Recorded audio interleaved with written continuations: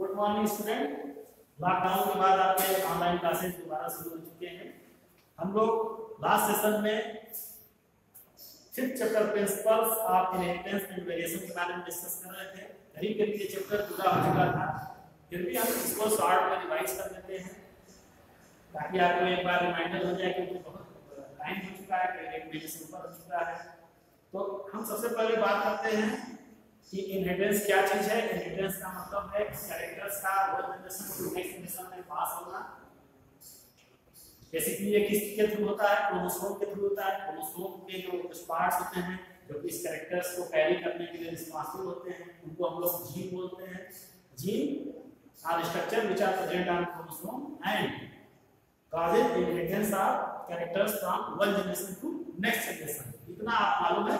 के बारे में आगे हम डिटेल में पढ़ेंगे नेक्स्ट चैप्टर में कि जीन क्या क्या है, क्रोमोसोम क्या है, डीएनए क्या है, इसके बारे में थोड़ा और डिटेल में हम स्ट्रक्चर पढ़ेंगे अभी हमको मेंडल्स का जो इनहेरिटेंस के लॉ है और वेरिएशन क्या है, इसके बारे में डिस्कस करना है। तो मेंडल्स का के बारे में पहले भी आपको बता चुके हैं। मेंडल्स ने थ्री लार्ज दिए थे। इनका जो एक्सपेरिमेंट था? वो बेसिकली पी प्लांट पे था। पी प्लांट इन्होंने इसलिए चूज़ किया?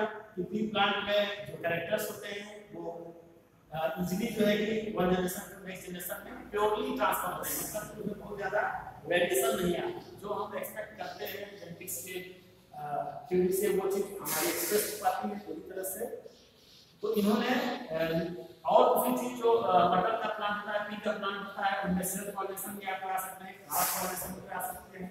लाइफ साइकिल शॉर्ट होती है कि इजीली अवेलेबल होते हैं, ठीक है?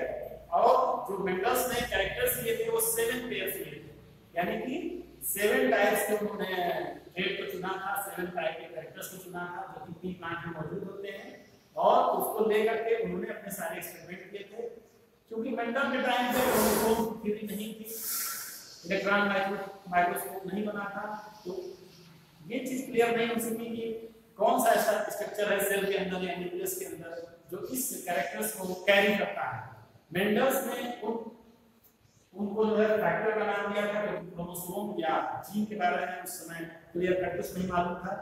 बाद में इसी वजह से इस थ्योरी के ऊपर ऑब्जेक्शन हुआ कि ऐसे कैसे हो सकता है, कोई चीज़ ऐसे कैसे हो सकती है। क्योंकि उस समय ये क्लियर नहीं था कि कौन सी चीज़ वन जनरेशन से नेक्स्ट जनरेशन में पास होती है। आइदर प्रोटीन और डीएनए इसमें से क्या चीज़ ऐसी है जो एक जनरेशन से दूसरे जनरेशन में one generation to next generation में पास होती है। लेकिन बाद में इलेक्ट्रॉन माइक्रोस्कोप के इन्वेंशन के बाद और उसके बाद जब हम लोगों ने सेल डिवीज़न को अच्छी तरह से समझा और गैमेट फॉर्मेशन को समझा, जब सारी चीज़ें क्लियर हो गई, तब जो मेंडल ने बताया था कि जो फैक्टर है, उसको बाद में साइंटिस्ट ने जीन का नाम दिया और ये बताया कि जीन ही होते हैं जो कैरेक्टर्स या ट्रेड को one generation to next generation में कैरी करते हैं। तो इस तरह से फिर से उन्होंने इस मेंडल से लॉ को अप्लाई करके देखा तो उन्होंने पाया कि रिज़ल्ट बिल्कुल वही थे जो मेंडल ने बताया तो हम थोड़ा सा मेंडल्स लॉ के बारे में डिस्कस कर लेते हैं। मेंडल्स ने जो फ़र्स्ट बात दिया था, वो था मेंडल्स लॉ का डोमिनेंस लॉ डोमिनेंस का पहला रूप। दूसरा जो था law of segregation of purity of units तीसरा था independent assignment law independent assignment थोड़ा सा हम शॉर्ट में डिस्कस कर लेते हैं इस चीज़ को। मेंडल्स लॉ डोमिनेंस का मतलब होता है कि जब कैरेक्टर्स कंट्रास्टिंग का मतलब क्या होता है?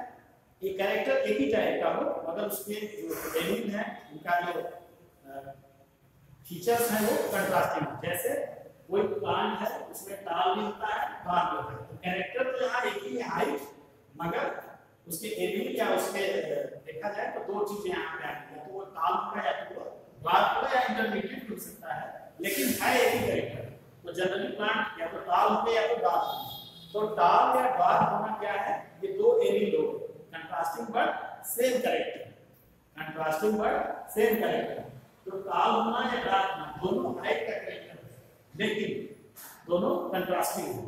और इसमें से कोई एक कैरेक्टर दूसरे कैरेक्टर को डोमिनेट करता है। कहने का मतलब कि अगर हमने टाल प्लांट और डार्क प्लांट दोनों के बीच क्रॉस कराया तो जो हमें प्लांट मिलेगा, वो कैसा मिलेगा? ये वाला प्लांट हमें टाल मिलेगा। अपन जनरेशन में जो भी प्लांट मिलेगा हमको टाल मिलेगा।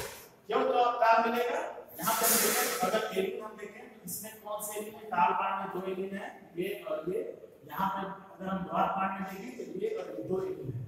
लेकिन एप्पल जनरेशन में जो इसका जीनोटाइप होगा वो क्या होगा? कैपिटल डी और स्मॉल डी यानी इसमें एक इसका एक है, एक इसका एक है। इस तरह से दोनों एक है। लेकिन प्लांट में कैसा फिनोटाइप कैसा मिल है एक्सप्रेशन कैसा मिल रहा है वो?